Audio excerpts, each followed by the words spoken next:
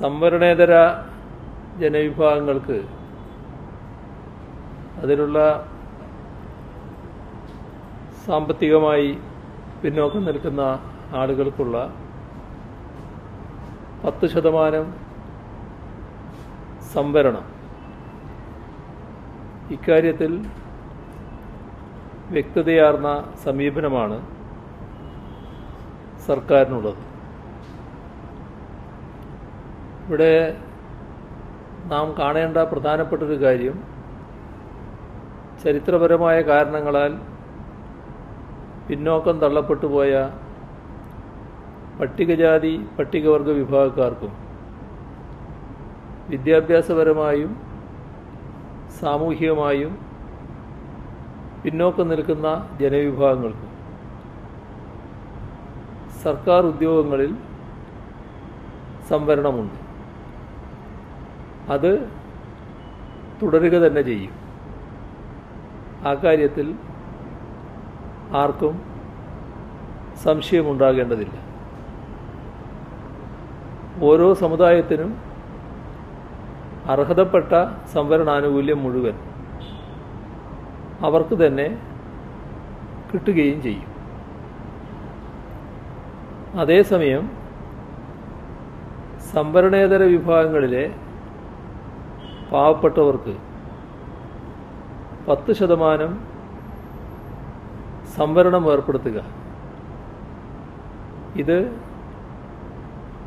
പൊതുവെ അംഗീകരിച്ചു കഴിഞ്ഞ കാര്യമാണ്. ഇക്കാര്യത്തിൽ ദീർഘകാലമായി നമ്മുടെ സമൂഹത്തിലൊരു ആവശ്യമായി ഉയർന്നു നിൽക്കുന്നുണ്ടായിരുന്നു. അതിന്റെ ഭാഗമായുള്ള ഒരു നടപടി ഭാഗികമായാണെങ്കിലും കഴിഞ്ഞ കേരളത്തിലെ സർക്കാർ ദേവസ്വം റിക്രൂട്ട്മെന്റിൽ നടപ്പാക്കിയിരുന്നു. പക്ഷേ പൊതുവേ ഇത്തരത്തിൽ പത്ത് ശതമാനം സംവരണേതര വിഭാഗത്തിന് സംവരണം നൽകണമെങ്കിൽ ഭരണഘടനാ ഭേദഗതി വേണമായിരുന്നു. ആ സാഹചര്യം വിലയിരുത്തിക്കൊണ്ട് ഭരണഘടനാ ഭേദഗതി രാജ്യത്ത് വന്നു കഴിഞ്ഞു. എന്നാൽ ഈ പത്ത് ശതമാനം സംവരണം മുൻനിർത്തിക്കൊണ്ട് വലിയ വിവാദമുണ്ടാക്കാൻ ചിലർ ശ്രമിക്കുകയാണ് നിലവിലുള്ള സംവരണത്തെ അട്ടിമറിച്ച് സാമ്പത്തിക സംവരണം സർക്കാർ നടപ്പാക്കുകയാണ് എന്ന് ചിലർ വാദിക്കുന്നിടയുണ്ടായി ഇതിൽ ഒരട്ടിമറിയും ഉണ്ടായിട്ടില്ല. നേരത്തെ ഉണ്ടായിരുന്ന സംവരണം ആർക്കും ഇല്ലാതായിട്ടുമില്ല. ഏതെങ്കിലും വിഭാഗത്തിന്റെ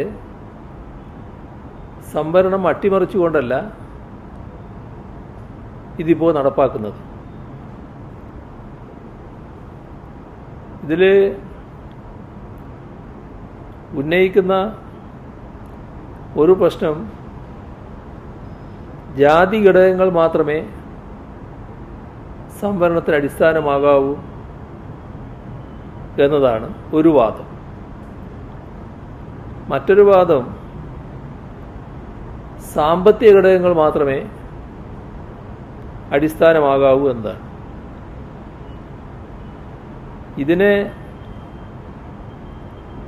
ഇത്തരം രണ്ട് വാദങ്ങൾ നിലനിൽക്കുമ്പോൾ സാമൂഹ്യ യാഥാർത്ഥ്യങ്ങൾ ഗൗരവമായി കണക്ക് കണക്കിലെടുത്തുകൊണ്ടുള്ള സമീപനമാണ്